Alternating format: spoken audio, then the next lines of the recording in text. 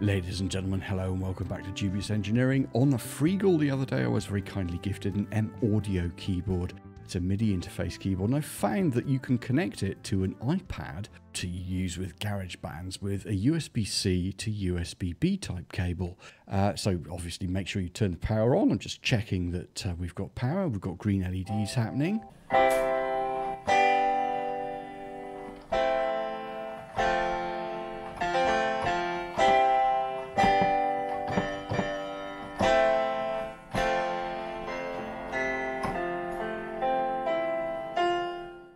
Yes, it was kindly gifted through Freegle. It sort of works, but it's just a bit mucky.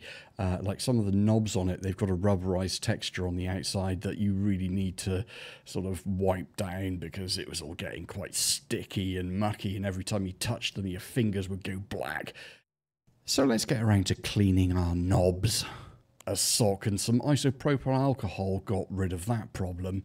And then the next issue that we came across was there was no volume slider. Uh, so uh, it's time again, uh, talking about knobs, to make a knob. So I decided to get a nice piece of hard wood and I made a knob. I made a knob out of wood and I sanded it. I'm having a laugh here, just chuckling away to myself, and I'm greasing up my knob right now. Uh, there it is, nicely greased up, and I'm just sort of like seeing whether or not it sort of makes sense. And it does make sense. It's a nice looking knob. It's a very shiny, hard wood knob. Um, so time to get a time to get the uh, Dremel in there and a bit of a hacksaw blade in there, uh, and make that knob look beautiful. And there it is, a nice shiny knob all greased up and ready to rock and roll. That's my volume control. So let's make a song. Let's make a song on the iPad in Garage Tunes. Just enjoy a few minutes of this madness. It does get better, trust me.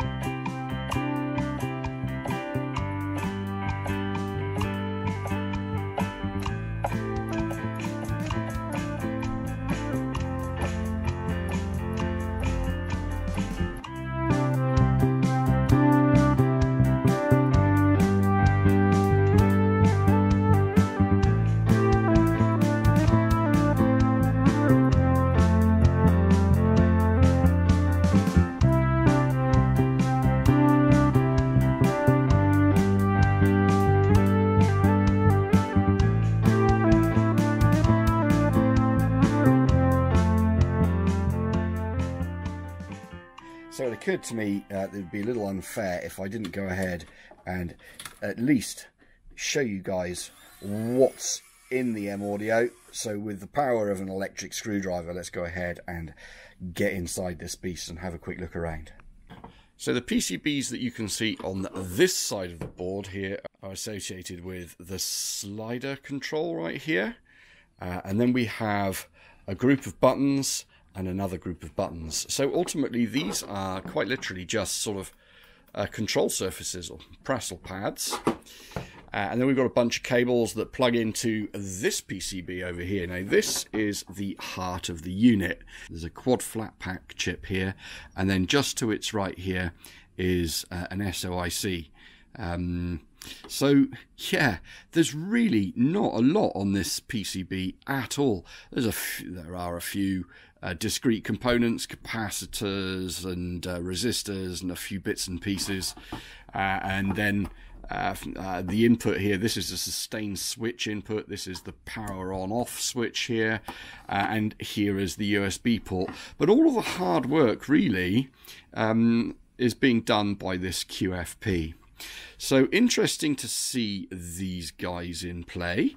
Uh, and then we have a cable here which connects up to the keyboard itself. Let's just have a quick look at the keyboard. So the way the keys work is really quite interesting.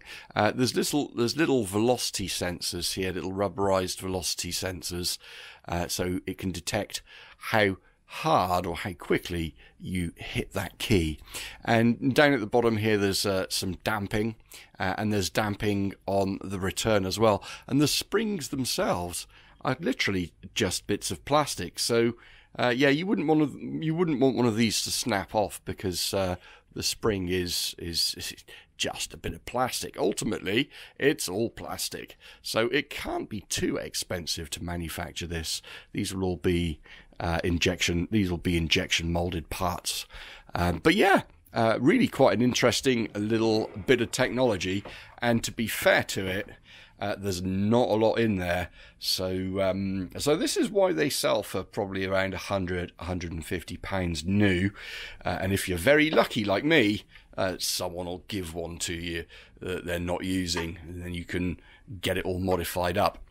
Anyway, there it is, the M Audio Keystation 49 and what a beast it is. Uh, thanks ever so much for watching. As always, people, take care. Have yourselves a wonderful week and weekend and we'll catch you in the next video. Don't forget, thumbs up, subscribe if you haven't already. Cheers, beers, bye.